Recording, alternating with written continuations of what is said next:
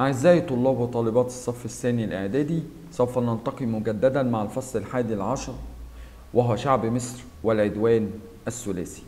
طبعا وضع طبيعي قبل ما نبدأ نشوف الفصل إن جمال عبد الناصر لما بدأ يعمل صناعات ثقيلة طبعا ده ما عجبش دول الغرب فعملوا عدوان ثلاثي على مصر وده اللي هنشوفه في السلايد الثانية بيقول لنا كان لتأميم مصر لشركة قناة السويس أثر كبير على المصريين حيث فرحوا فرحا شديدا وارتاحت قلوبهم أما على الأوروبيين حزنوا حزنا شديدا وغضبت قلوبهم ولجأ الاستعمار إلى منطق الحديد والنار لإعادة قناة السويس لذا بثلاث دول هي بريطانيا وفرنسا وإسرائيل تغزو مصر ليردوا القناة إليهم ولكن المصريون واجهوهم وانتصروا عليهم. زي ما إحنا شايفين كده النقطة الأساسية اللي هي سبب العدوان الثلاثي هي تأميم شركة قناة السويس. طبعا المصريين فرحوا جدا بالقرار ده أما الأوروبيين حزنوا جدا وبدأوا يلجأوا لمنطق الحديد والنار قصده منطق الحروب يعني وغار وأغارت ثلاث دول على مصر وهي بريطانيا وفرنسا وإسرائيل. نماذج من بطولات المصريين. الشاويش محمد أمر جنوده بعدم قراءة المنشورات اليهودية ونشر فيهم روح الثبات والشجاعة أشعل النار في سيارتين من سيارات العدو ولم يخسر جنديا واحدا بينما بلغت خسائر اليهود 12 مصفحة و200 قتيل. زي ما إحنا شايفين في الفصل هو بيعرض لنا نماذج من بطولات المصريين في هذا العدوان وأول بطولة كانت للشاويش محمد. وطبعا من الكلام اللي مكتوب كانت بطولته ناحية سينا ناحية سينا ضد إسرائيل. البطولة الثانية كانت لفتيات مكتب البرق رفض تسليم مكتب البريد للإنجليز وأطلقنا الرصاص دفاعا عن المكتب. حينما لجأ الأعداء إلى الحيلة رفع الراية البيضاء على المكتب ليوهموا رجال المقاومة أن فتيات مكتب البرق قد استسلمنا. أدركت إحداهن أنها خدعة من الإنجليز فنبهت زميلتها فعدنا يهاجمنا العدو. طبعا من البطولة الثانية يبان أن أصحابها فتيات وكانت البطولة دي بور سعيد. وطبعا حاولوا جنود الاحتلال يلجأوا للحيلة ومعنى إن عدوك يلجأ لحيلة يعني هو وش قادر عليك. لكن طبعا الفتيات الفتيات أيقنوا الحيلة وبدأوا ينبهوا زمايلهم زمايل المقاومة إن هم ما استسلموش. البطولة الثالثة الضابطان البحريان جلال الدسوقي وعلي صالح. جلال الدسوقي سدد توربيدا نحو أقوى سفن العدو فاشتعلت فيها النيران. وغاصت في الماء. أما علي صالح سدد توربيدا نحو مدمرة من مدمرات العدو جعلها تغوص في الماء. ويبان من البطولة الثالثة أن البطولة دي عسكرية لضابطين من الضباط البحرية.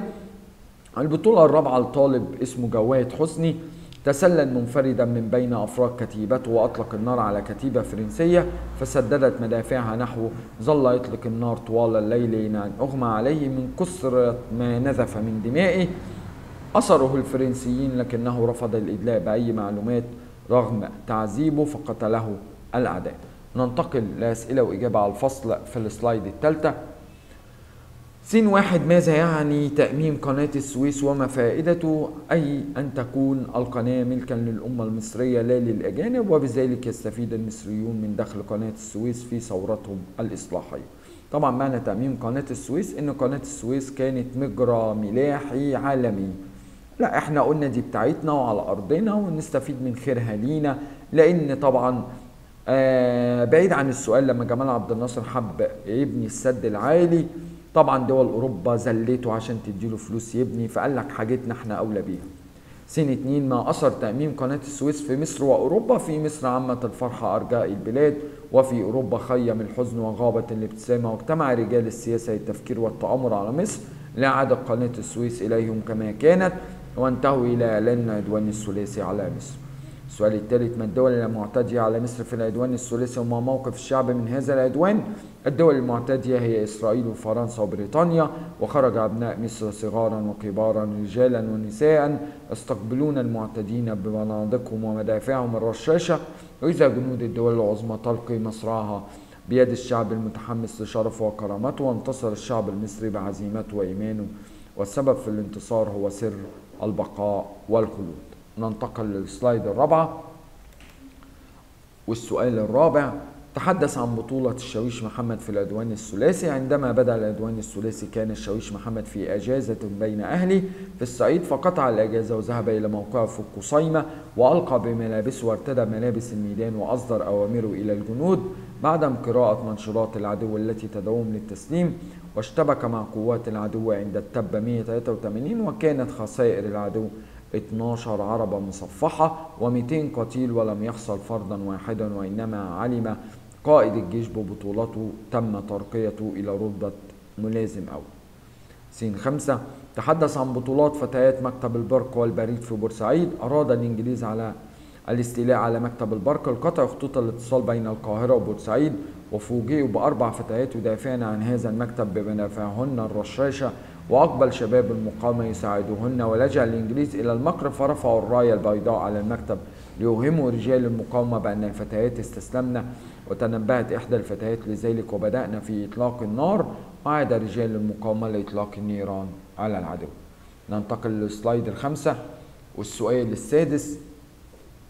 تحدث عن بطولة الضابطين البحريين جلال الدسوقي وعلي صالح خرج جلال الدسوقي بزورق وحتى وصل إلى سفن العدو المحتشدة أمام بحيرة البرولوس واختار طرادة فرنسية وسدد نحوها توربيدا فدمرها وتصدى زميله علي صالح لمدمرة أخرى فأغرقها وفي طريق العودة هجم عليهم سرب من طائرات العدو ورفض الضابطان الفرار أو القفز في الماء واشتبك مع الطائرات حتى استشهدا سين سبعة تحدث عن بطولة جواد حسني.